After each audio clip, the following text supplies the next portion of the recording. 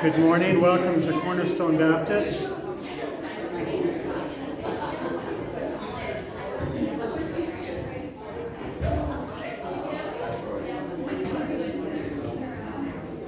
Love seeing you encourage each other. Conversations like this.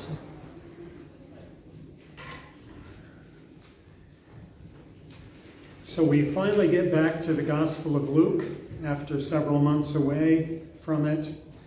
We're towards the end of Luke chapter 12 this morning. 40 years ago, when I worked in the, in the garage, there were several of the tire changers who wouldn't show up to work on Saturday morning. Friday was payday, so Friday was also play day. And Saturday morning, a few of the guys just were in no shape to come into work. But they didn't care. They had enough money for the weekend. So they just spent it. Who cares about next week? In the 40 years since then, I found that a lot of people live this way. We're not planning ahead two weeks for the rent that's due or the car insurance that has to be paid. They have money in their pockets, so they just go and spend it. In Luke 12, Jesus tells us not to worry about tomorrow, but he doesn't tell us to ignore it. In fact, in our passage this morning, he says to be ready for tomorrow because Jesus is coming back when we least expect it. So be ready. We have to give an account to him. We have to look him in the eye and say, Here is what I did and why I did it. Are we ready? And that is the question that Jesus is asking us to be prepared to answer in Luke 12 this morning. So we'll get to that in a few minutes. But let's sing together number 35 in your hymnals. Number 35. Worship the Lord. Let's stand as we sing this.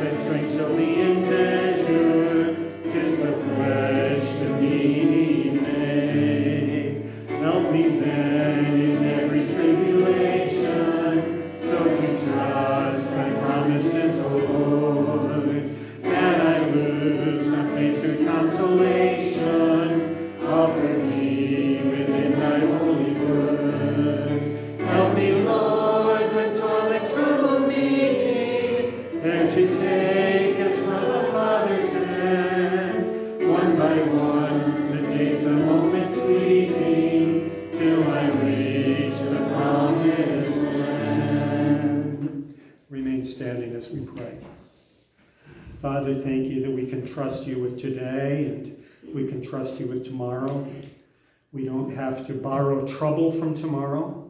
We can live for you today. Pray for those who are struggling in their lives and some decisions to make and health needs and other needs. I pray for Kavanaugh's or their vehicles and pray for Janie and her upcoming move and for Gary and his breathing struggles. And I pray for job um, opportunities and I pray for opportunities of sharing the gospel with family and friends and relatives and neighbors and workmates. I pray that you would give open doors and then you would give us wisdom to know what to say and then boldness to say it when those opportunities come. Father, I pray for our individual lives to be aimed directly at you, not to be distracted, not to be um, just chasing other things other than Jesus in his righteousness. I pray that as we consider this morning our future life with you and having to answer to you, I pray that we'd be ready. I pray that we'd be ready constantly for Christ's return. Pray for those who can't be here, that you would encourage them. I pray for contact that we have with them, that that would be a, a, a helpful thing and not discouraging to them. Guide us as we read your word and study it this morning and then apply it to our lives. In Jesus' name, amen. You're dismissed. You, you may be seated, I'm sorry. Wow. This is one of those mornings. So thank you for praying this past few weeks, um, culminating with being away this week with a conference in New York. Those poor people down in New York, all of the gospel-shaped outreach, all 36 kind of parallel studies, you know, each week we had four different parallel things we were studying. They got it all in six sessions. And we boiled it down and, and tried to give it in a way that would be helpful to them. And, and I pray that we were able to encourage them. Interesting observing other churches. And when you go away, when you're on vacation or something, I encourage you, I urge you, I beg you to attend church with God's people. Um, make it important. Make it important here and then make it important when you go away. And you will, you will observe some things. And that church was about the size of ours. And I observed that there were two different churches within the same building. There was the church that claimed to be who they who they claimed to be, and then there was another totally separate circle assembly of people who were there trying to make the church into something that it had never claimed to be, and it wasn't. Most of them were transfers in from another church or churches, and they were unwilling to take on the identity of the church there, but they were trying to change the church to be what they wanted it to be. Now, are there changes that have to happen within a church? Often, yes, there are. We all must follow Christ. But sometimes what happens is we look at a church constitution and the way the church was designed from the very beginning to, to attempt to live out the principles of God's word. And then we go into that church and we say, well, I don't like this. I don't agree with this, so I'm going to try to change it. Um, th that is kind of a human nature type of thing that we observe. And it's just something that you could pray for that church in New York about. So we think about a few announcements coming up. Today is Vacation Bible School meeting. Uh, it is the end of April, which means the Vacation Bible School is only two months away. It's coming. It's coming quickly, so we'll have to just hammer out a few details this morning, uh, or this noon, about how things are going and then maybe what we need to do from here.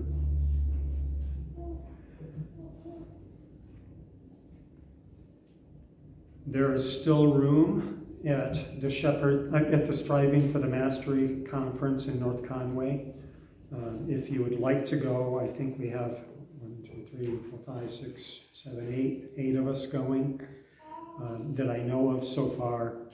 But if you're interested, you can see me or Randy. They have been taking care of some of the rest of you.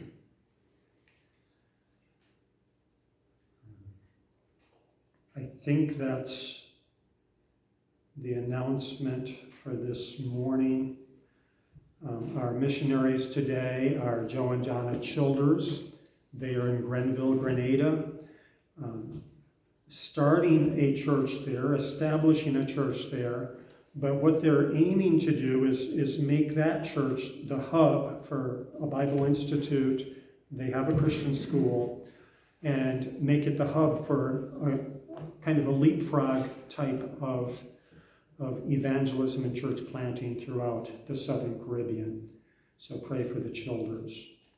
Our sister church is up in West Stewartstown, New Hampshire uh, literally a stone's throw from the border, and they are serving the Lord to the best of their ability up there and appreciate their fellowship in the gospel. Ushers, come please and we'll receive the offering.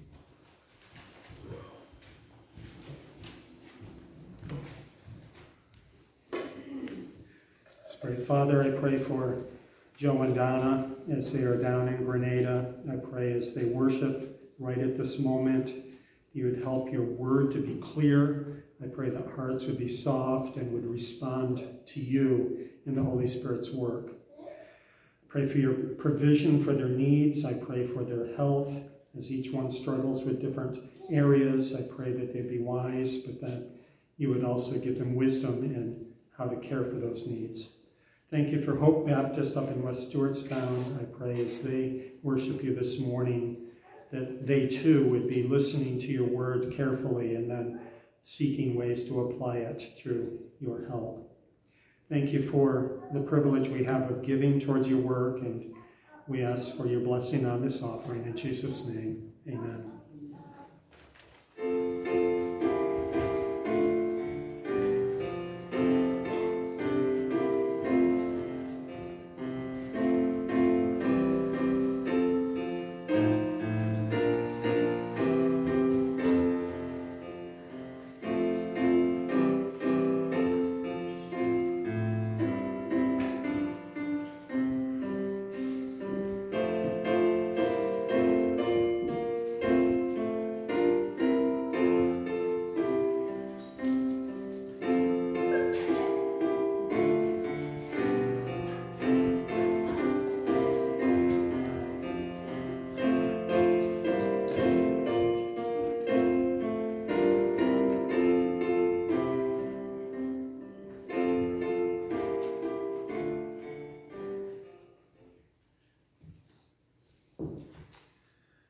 Scripture reading today is in the Gospel of Luke, and we will be starting in verse 35. Joe, if you could come, please, and read for us.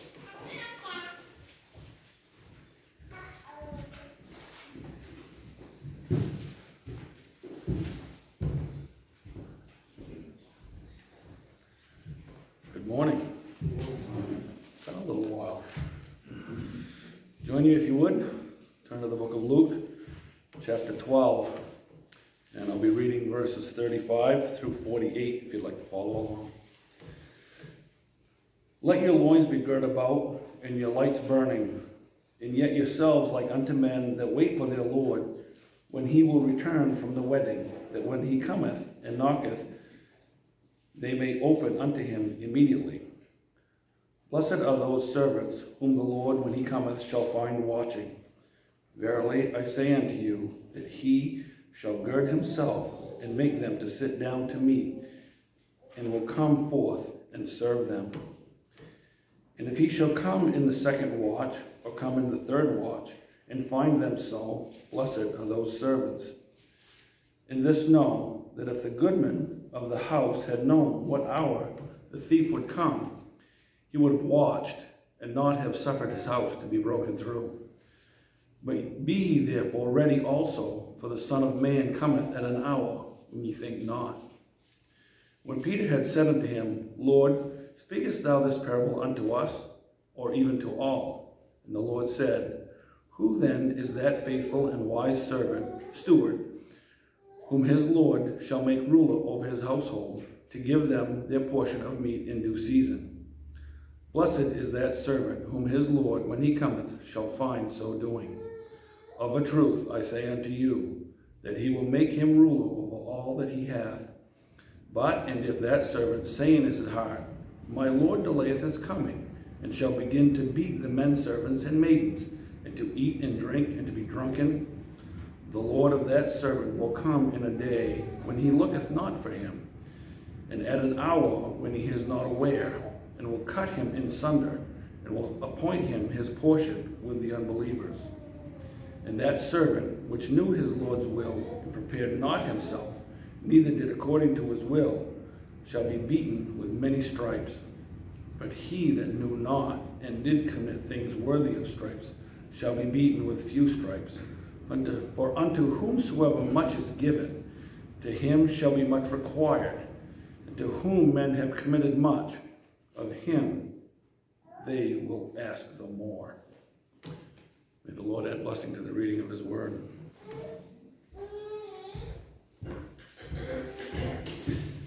Thank you. Uh, one clarification in your bulletin. Next week's passage is the following passage, starting in verse 49. Pastor's editing did not pick that up when I was printing the bulletins. So next week will be the next few verses. I'd like to take our hymnals and look at our church covenant in the very beginning, the very front cover of our hymnals. Sometimes pastor forgets to read this at the Lord's table.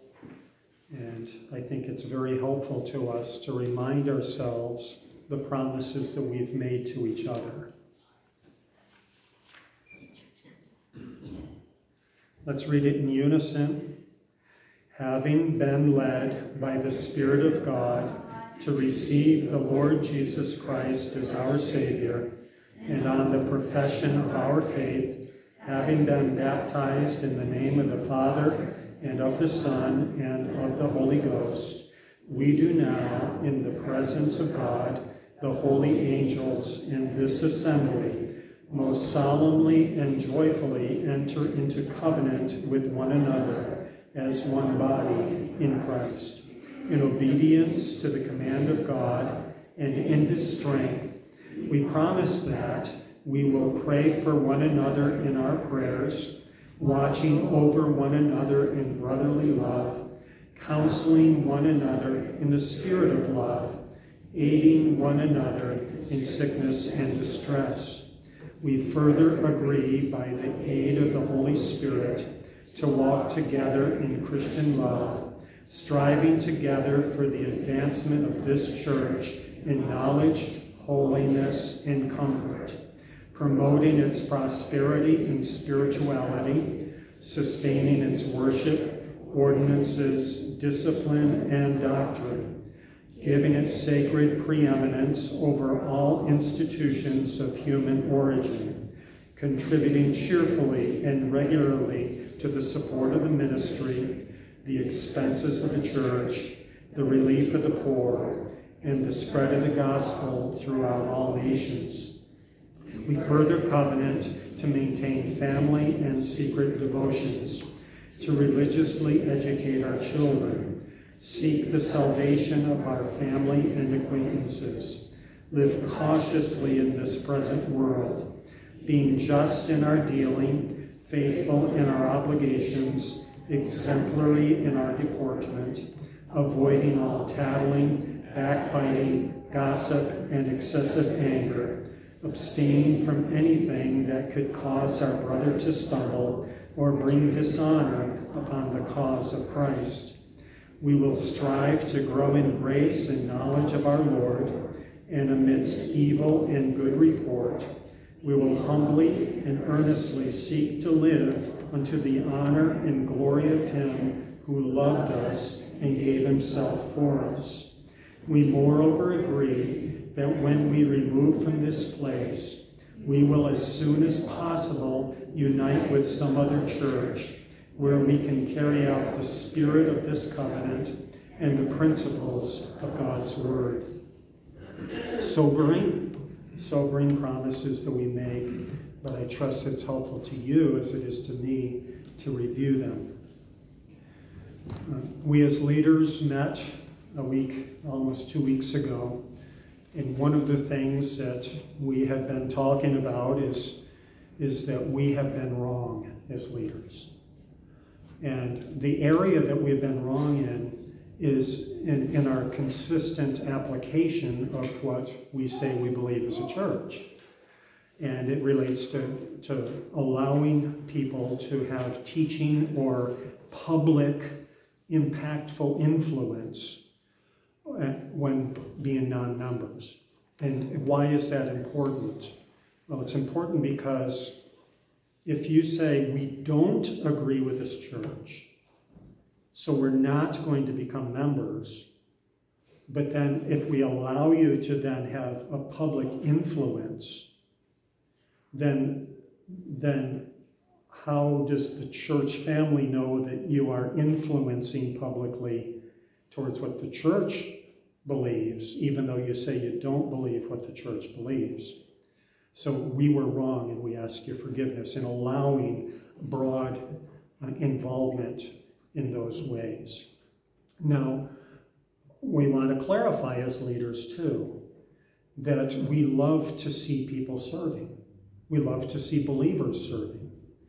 Um, but we want to make clear what are maybe non public or less influential areas of service that non-members can be involved in, or what is teaching or very publicly influential. And, and one would be non-members and one would be members, uh, mainly because of if you say you do not believe what the church believes, why would the church as a whole trust you to then teach what the church believes? I, I, I hope that makes sense to us.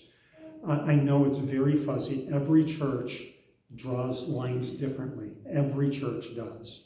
Every church is responsible before God to make wise decisions. This afternoon, the one Bible study that I will be leading, there will be another Bible study going at the same time, that uh, small groups. But the one I will be leading is on our freedom of conscience. We truly believe that here. We, we believe that every church is responsible before God to hammer out as an assembly what they believe God teaches in His Word and how they want us to be practicing it. And then each individual Christian has the responsibility before God to apply God's word in their own lives and then to join themselves to a church in which they can agree. We're not forced to join a church, but we are encouraged by God to join the church of that best matches our belief systems. Um, if a church does not match our belief systems, then we are, have freedom of conscience and responsibility before God to find one that does. Again, as we just read, we, when we remove from this place, we will as soon as possible unite with some other church where we can carry out the spirit of this covenant and the principles of God's word. Um, we welcome everyone here, but there are different levels of involvement that Cornerstone Baptist allows based on membership or not. And again, we, we ask your forgiveness for not making that clear um, in the past. And then we will say, it may not be clear in the future because every church draws the lines in different places. We are trying to be consistent, um, but that doesn't always happen effectively. Thank you for loving us. Thank you for putting up with us.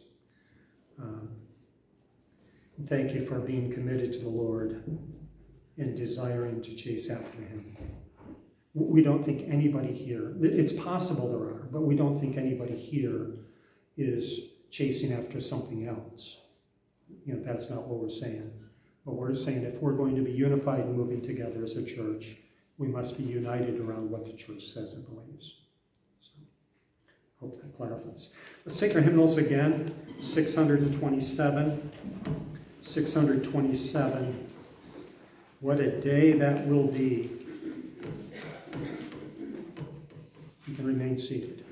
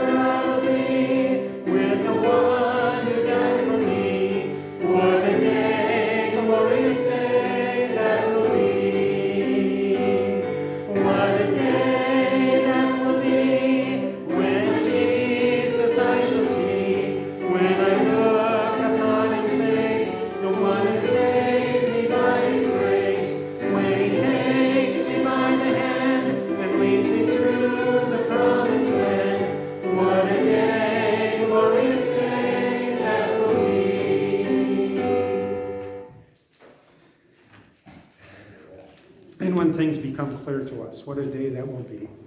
The things that we just don't understand exactly how it works, where we try to meet at the Word of God and, and hammer things out. I'm so glad that God knows and that God wants to communicate to us through His Word. But one day, I think things will become clear to us. So, Luke chapter 12, Luke chapter 12. We should be ready for the Lord's return because when he comes, he will judge everyone.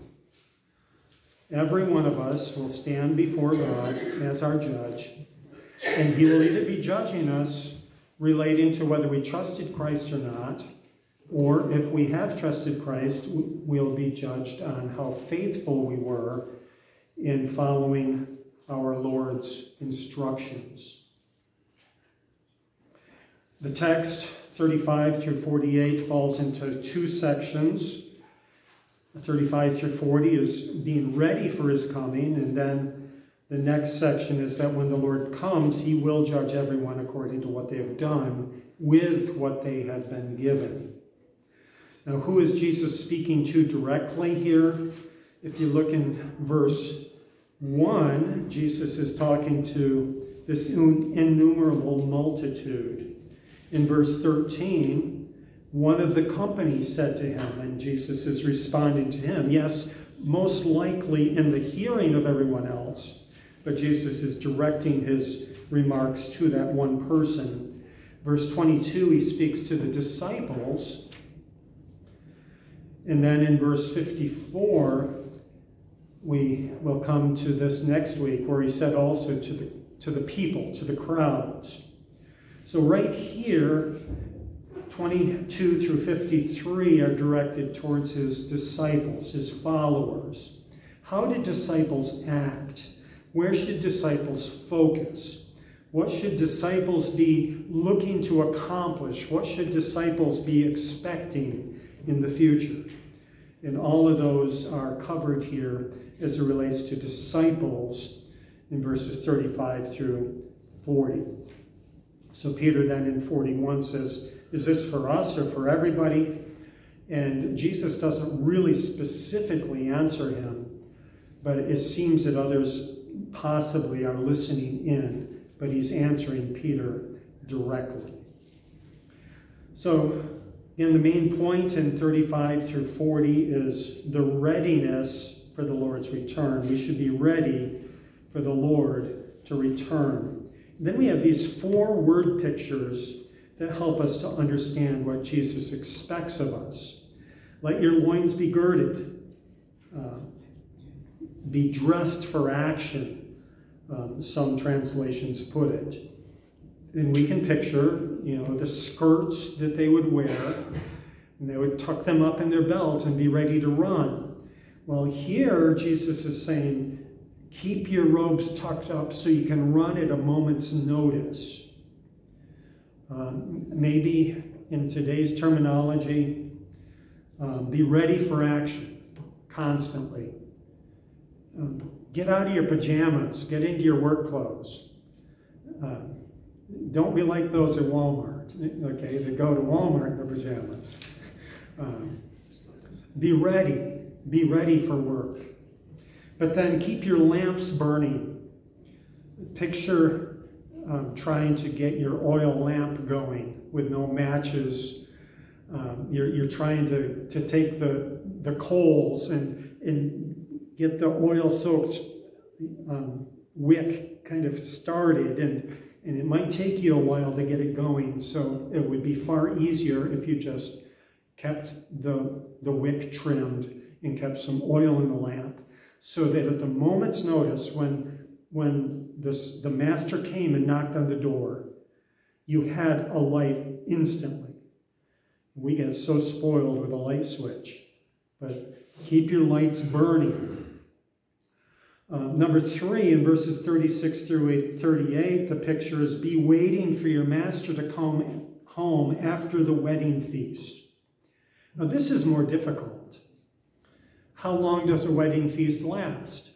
It could be a few days, could be four or five days, could be a week. We don't know when he's coming back. So be ready. Will it be today? Will it be tomorrow? Will it be this afternoon? Will it be at midnight tonight? Will it be the third watch of the night, like three or four in the morning?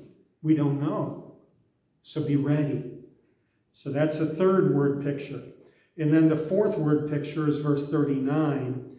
This we know that if the goodman of the house had known what hour the thief would have come, he would have watched and not suffered his house to be broken into. So the fourth word picture is this thief breaking into the house. If you have an appointment that the thief has made, I'm going to be there at 3.30 in the morning on Tuesday this week, you'd be up and waiting. You'd have the baseball bat or, or whatever. Nathan left me some nice bird shot, uh, 12 gauge bird shot. We'd be ready. We'd be up. We'd be waiting. But if you are kind of, eh, who cares? You wouldn't be up and waiting.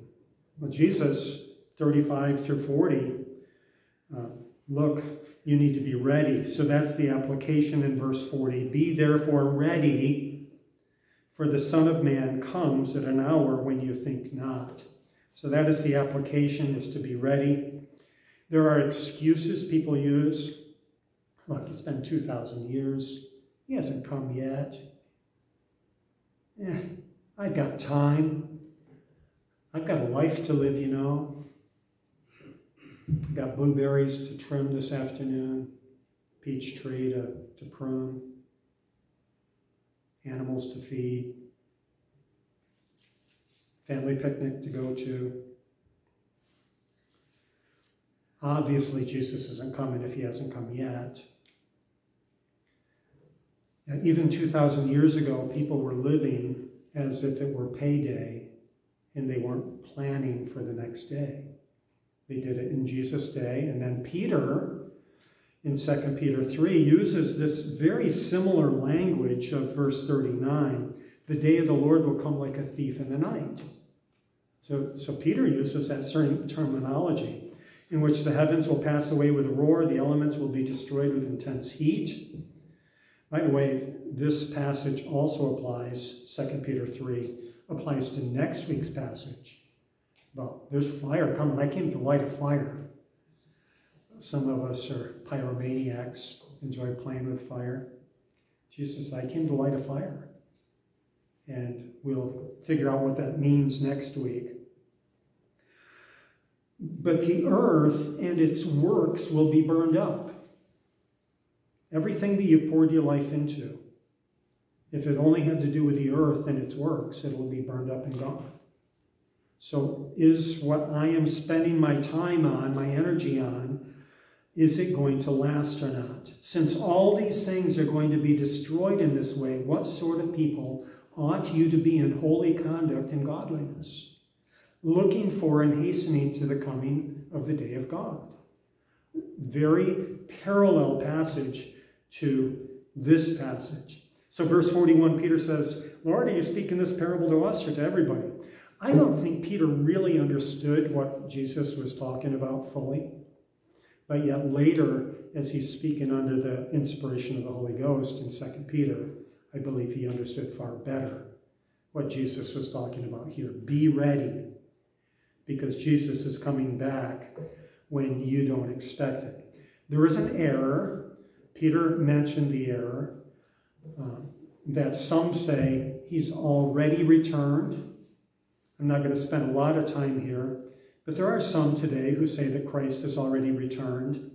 There are no rapture, no tribulation, no trumpet judgments, no seal judgments, no bowl judgments, no millennium on this earth, no Armageddon.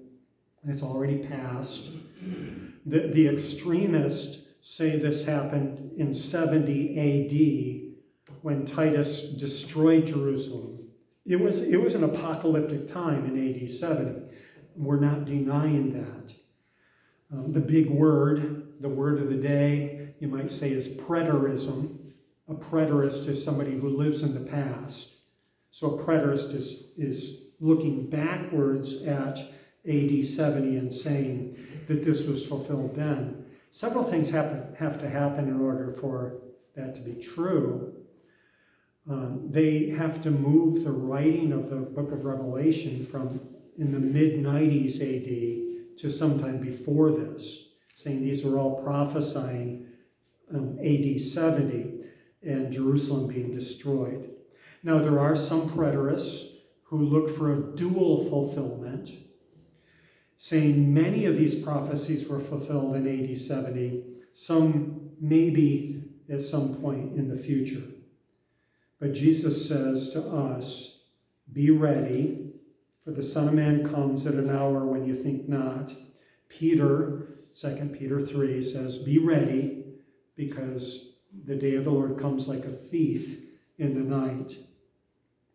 So we are still looking forward. We're not in our spiritual pajamas. We're keeping our lamps trimmed spiritually.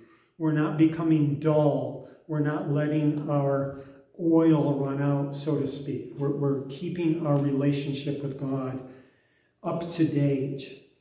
We're waiting day and night, expecting Him. We're guarding our spiritual lives. We're not allowing sin to creep in.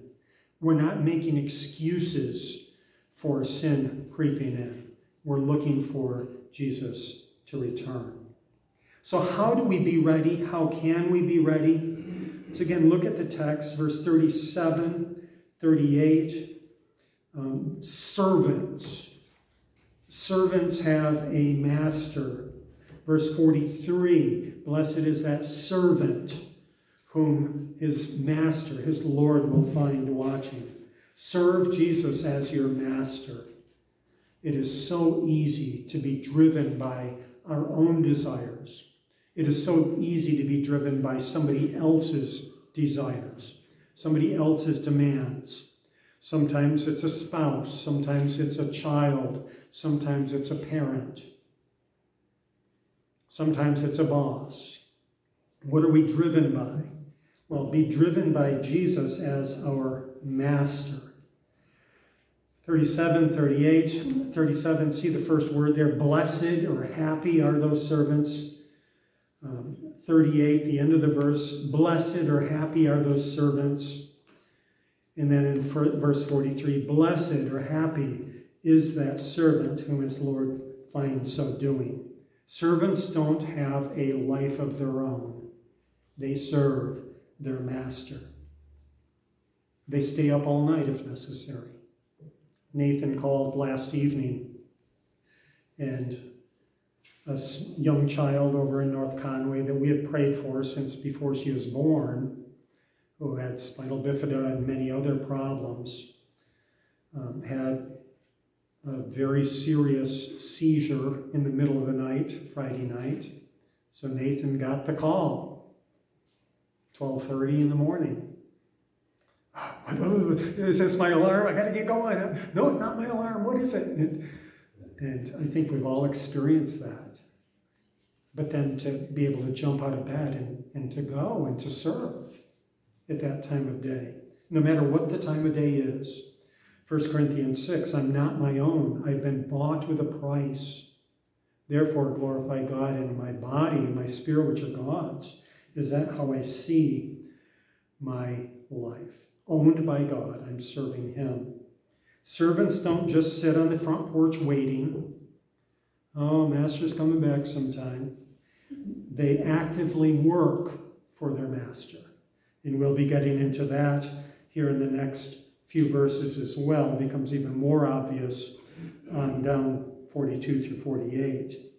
But for right here, verse 37, they are on the alert. In verse 39, we know that Satan tries to steal our spiritual energy. Are we staying alert? We're familiar with the way our flesh kind of attacks our spiritual lives. We're aware of how the world around us influences us away from Christ. Be alert. And then verse 40, we know that the King of Kings is coming. Are we ready? Is our house in order? So I, I put in your notes a cat illustration. Uh, I'll, I'll make it short. Every day, 3.30 in the afternoon. I don't know how animals have a time clock that they punch. But 3.30, the cat is at the door waiting for his mistress to come home. Um, he may not be at the front door, but he's looking out the front window. And I'll be in my office, and I will know Betsy come, has come home, not because of hearing the car drive in, but because I hear the cat jump off the windowsill and go run into the front door. Isn't that interesting? Is that how we see Christ's return? Are we waiting and watching and ready for him. He's coming. Well, then Peter asks the question is this just for us, the 12, or is it for more people than this? Again, Jesus doesn't answer directly, but look at the end of verse 48, the middle. Unto whomsoever much is given, of him shall much be required. To whom men have committed much, of him they will ask the more. I think Jesus' application for Peter is this Peter, you have been able to be with me constantly for several years. So, yes, you have a higher responsibility to me than somebody who has only just heard of me. Of whom much is given, of him shall much be required. Many of us have grown up in church. We're responsible. Some of us have been saved more recently. We are responsible for what we have been exposed to. Now, I'm just going to pause here and say the solution to this isn't, well, I'm just going to stay home and never open my Bible, and then I won't be responsible for anything. You know, there are people that think that way. So I, I, I need to say that. Um, we'll cover that this afternoon some too. We are responsible before God with what God has given us, and we have the Word of God completed in our hands that we can understand and, and apply, so we are responsible. So the second main point, we, we had the readiness, now we have the result. The result of being ready is to work in light of the coming evaluation. In verses 35 through 40, being ready involved watching and waiting. In verses 42 through 48, the result is working, watching, waiting, and working. So again, Jesus doesn't answer Peter directly, but he answers with a rhetorical question. It goes something like this um, What is a good manager? How do you evaluate a good manager? Verse 42 Who then is a faithful and wise steward, whom his Lord will make ruler over his household to give them the portion of meat in due season? Maybe to put it another way, who gets the advancement at work, the promotion at work. What kind of employee gets that kind of promotion? Who is going to be promoted by his Lord? And notice in verse 42 the word steward. The steward is a manager. They have been given responsibilities. They've been given material goods and then instructions to carry out. And then in verse 43, 45, 46, 47, there's the word servant. Um, they're similar, they are different. Uh, a steward emphasizes the managing, the servant emphasizes the ownership by the master. So, what is the responsibility of a servant? 42, 43, 44. It would be to manage well, to steward well what God has given you. So an illustration we can all understand is, look, just do a good job. Do a good job at what you are given to do. Who is this wise steward? Um, verse 43, Blessed, happy is that servant, whom his Lord, when he comes, shall find doing, doing what? Well, giving them, verse 42, their portion of meat in due season. What does that mean? Well, you've been assigned to take care of the family, which means having the meal ready when it's time, when it's meal time. You have, you have the lunch all cooked and ready to go and, and ready to serve when it's time in due season. Blessed, happy is the servant who his Lord finds doing this. Verse um, Again, back 37, blessed and happy are the ones who are intently watching for the Master to come. Blessed, happy, verse 38, are those who are up all night waiting for their Master. That's what they live for, day in, day, not, day out. And then verse 46, um, the Lord of the servant will come in a day when he looks not for him, at an hour when he's not aware, will cut him in, two and appoint him his portion with the unbelievers.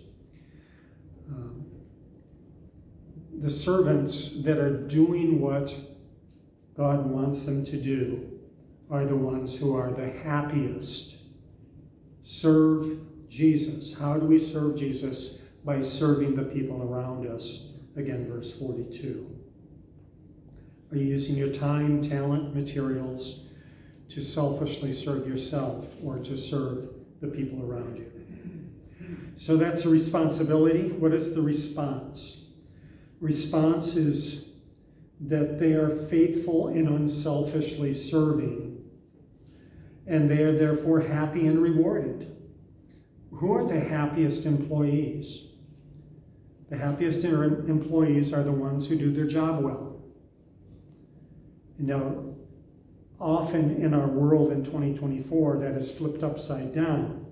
Well, if my boss would just make me happy, then I would do my job well. You, you see the difference? No, Jesus says, do your job well, and that is what makes you blessed, this, this sense of well being. Verse 45, 46 gives the unjust servant, the selfish, abusive servant.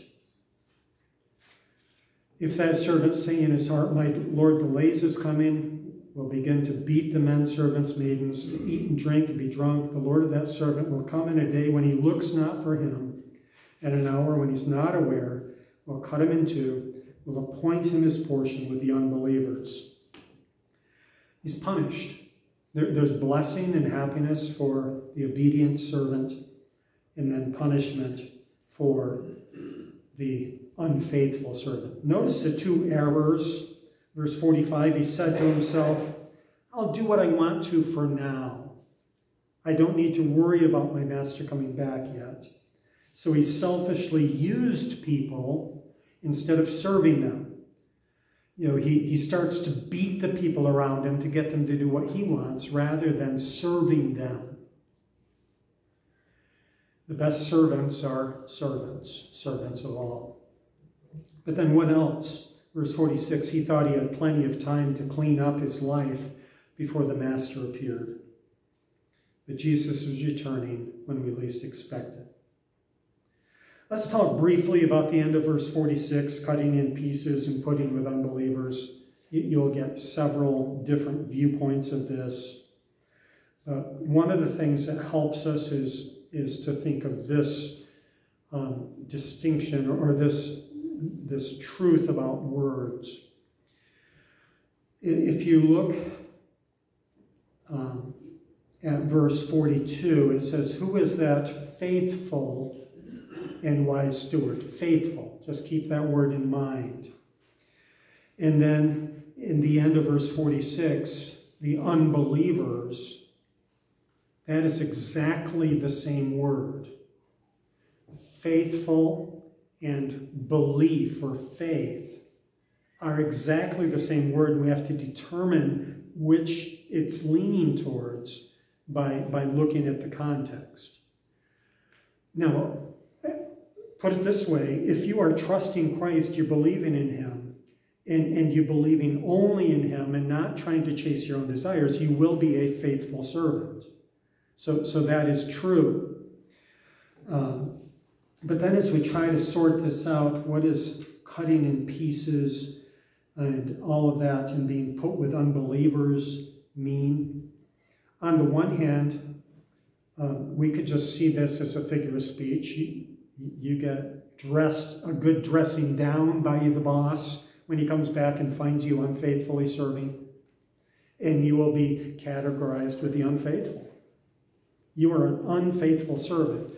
There are enough other parables that Jesus gives that we could take that interpretation in a very uh, easy way to say, you were a wise servant. You, I gave you this many talents, and you were faithful in multiplying them, so you are faithful. And then I gave you a talent to do with and, and multiply it, and you didn't. You were unfaithful. Um, so we could take this that way, or we could take this as these people were never really serving their master to begin with. They're never really believers. Which is it? Um, I don't know for sure. So uh, I'm just humbly going to say I, really don't know. Um, I don't think it is, uh, speaking of cutting into bodily pieces, I, I think it is give, giving a good dressing down. And they are certainly not rewarded. They're certainly not praised for their lack of faithfulness to their master. So, what is our application? Jesus gives our application, verse 47 48. That servant which knew his Lord's will and prepared not himself, neither did according to his will, shall be beaten with many stripes. In other words, it was clear. Uh, here's the instructions. Do you understand? Yes, I understand. So the master goes away and the servant doesn't do it. He understood fully. He's accountable. But then in verse 48, but he that didn't know, but yet committed things worthy of stripes, will be, will be beaten with few stripes. In other words, he's still accountable. Well, I didn't see that speed limit sign. You're still accountable. God has given us his word that we are accountable to. But some have been given more opportunities to learn, more opportunities to be exposed to God's will. We do know God's will. And then we say something like this someday I'll follow Christ, but I got bills to pay. I got, I got a boat out here I have to pay for. I got a new car. I just bought a camp up, up upstate I got to pay for. I'll start loving the church Jesus died for next week. This week I have a cookout to go to. I'll start loving my wife the way God expects the day she gets her act together. Um, I'll find ways to bless my kids when my own to do list gets accomplished. I got things to do, you know. And yes, pastors here too to hear the truth proclaimed in church every Sunday and to ignore it the rest of the week, Jesus says, you are accountable. And there is serious accountability to it. So 45 years ago, I grabbed the truth of verse 48 as a guiding principle for serving Jesus. It would be in the yearbooks on, by my picture. When I would sign something, I would often put Luke 12, 48 by it. Unto whom much is given, of him shall much be required. I had a mom and dad who loved me, who read the Word of God to me daily, who got me into church every time that they possibly could, every time the doors were open, sent me to Christian school for seven years. I had been given much, so I was accountable to much. We have 168 hours every week to love and serve the Lord and to love and serve others? Are we like the servants who are constantly alert and waiting? Or are we doing our own thing, using the people around us, just not expecting Jesus to hold us to account? Are you ready for Jesus to return? This is really wrapping up the entire chapter so far. It's kind of continuing on in the theme verses 1 through 12, God sees everything and holds us accountable and rewards those who openly declare our faith in him.